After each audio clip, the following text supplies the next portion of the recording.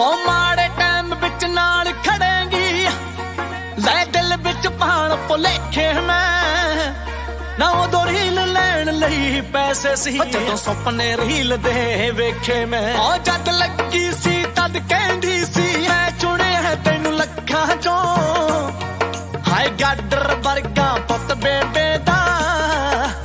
ਹੌਣਾ ਕਰ ਗਈ ਕੱਖਾਂ ਤੋਂ। ਜੱਟ